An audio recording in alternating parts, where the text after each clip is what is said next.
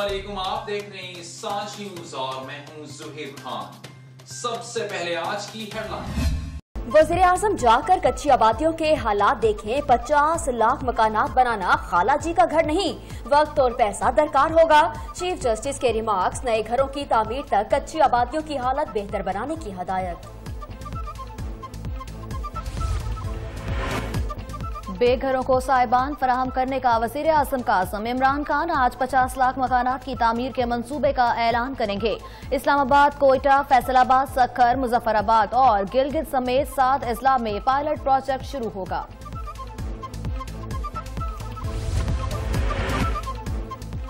مہنگائی سے عوام پریشان ہے ڈالر کہاں چلا گیا؟ تیل، بجلی اور گیس پر اضافی ٹیکس کے کیس میں چیف جسٹس کے remarks. M D P S O تقرری پر ناب سے رپورٹ طلب کر لی گئی۔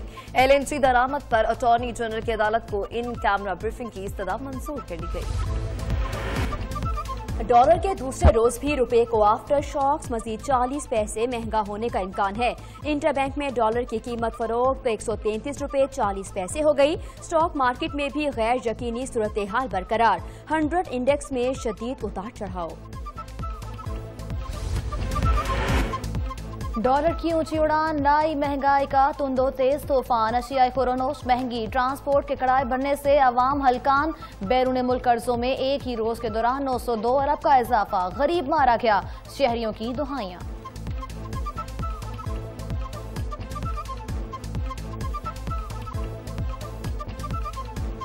پاکستان کا بہت نقصان ہو رہا ہے۔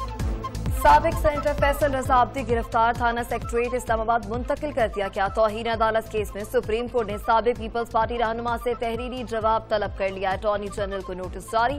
سماعت تیس اکتوبر تک ملتوی کر دی گئی۔ پاک فوج میں اعلیٰ سطح پر تقرریاں اور تعیناتیاں کر دی گئیں۔ Lieutenant general Asim Munir D G I S I تعینات کر دیے گئے۔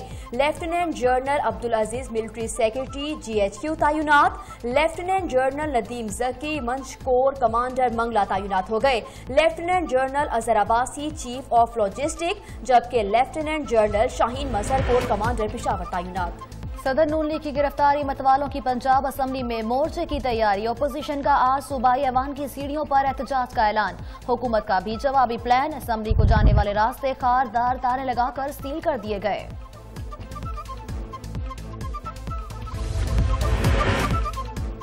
اپوزیشن کی ریکوزیشن پر قومی اسمبلی اجلاس سترہ اکتوبر کو طلب کر لیا گیا۔ شہباز شریف کی گرفتاری کے خلاف نون لیگ کال پارلیمنٹ کے باہر اپنا ایوان سجائے گی۔ مریم اورنگزیب کہتی ہیں، احتجاج سے متعلق لاہ عمل میں تبدیلی نہیں ہوگی۔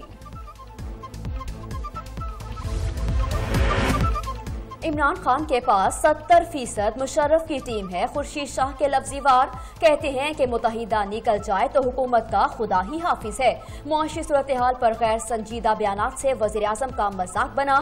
پیپلز پارٹی اداروں کو چلتے ہوئے دیکھنا چاہتی ہے۔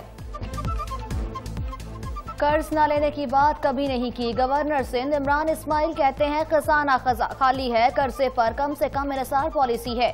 گرین بس کے لیے پارٹنر ڈھونڈ رہے ہیں۔ رواں سال کراچی میں اسٹریٹ کرائمز میں اضافہ ہوا۔ نام ای سی ایل سے نکالا جائے نواز شریف، مریم اور محمد صفدر کا وزارت داخلہ سے رابطہ۔ سابق وزیر اعظم بیٹی اور دماد نے چار اکتوبر کو اپیل دائر کی تھی۔ وزارت داخلہ کا جواب نہ ملنے پر دوبارہ رجوع کیا گیا۔ العزیزیہ ریفرنس میں بائیس گواہان کے بیانات قلم بند خواجہ حارث کی تفتیشی آفیسر محبوب عالم پر جرح مکمل۔ اس ڈار کے خلاف رساسہ جات ریفرنس میں استغاثہ کے گواہ، محسن امجد پر جرح مکمل سماج سترہ اکتوبر تک ملتوی۔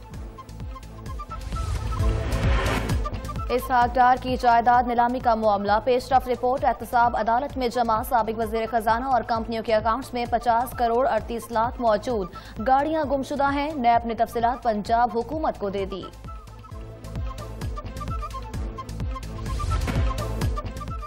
پیراگون کیس، گرفتاری کا خوف، سعد رفیق کا حفاظتی ضمانت کے لیے اسلام آباد ہائی کورٹ سے رجوع۔ ناب لاہور نے خواجہ برادران کو سولہ اکتوبر کو طلب کر رکھا ہے۔ آمدن سے زائد اثاثوں کی تحقیقات سلمان شہباز پیش ہوں گے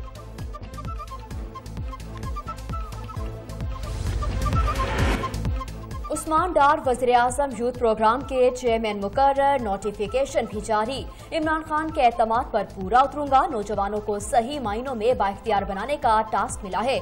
بہتر پالیسیز اور اسکیمیں لائیں گے۔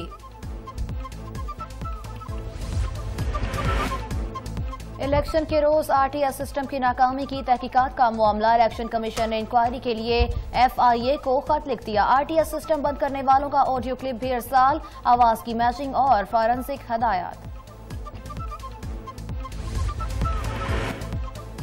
سندھ منی لانڈرنگ کیس کی تحقیقات میں تیزی کراچی میں اومنی گروپ دفتر پر رات گئے چھاپا تفتیشی ٹیم کی گئی گھنٹے تلاشی، اہم ریکارڈ قبضے میں لے لیا گیا، ملازمین سے بھی پوچھ گچھ جاری، کوئی گرفتاری عمل میں نہیں آئی۔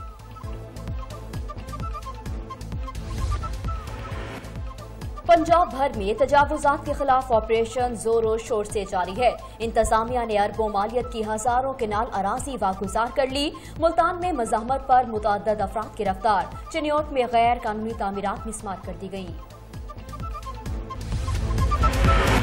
اے ٹی سی لاہور کا منشا بم اور چار بیٹوں کا شناختی کارڈ بلاک کرنے کا حکم۔ عدالت نے قبضہ مافیا کے سرغنہ کے ناقابل ضمانت وارنٹ گرفتاری جاری کر دیے۔